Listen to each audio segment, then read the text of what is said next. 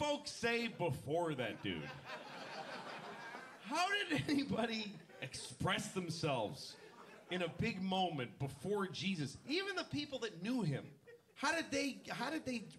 The people watching him be crucified. What could they even say? Watching that happen, they're like,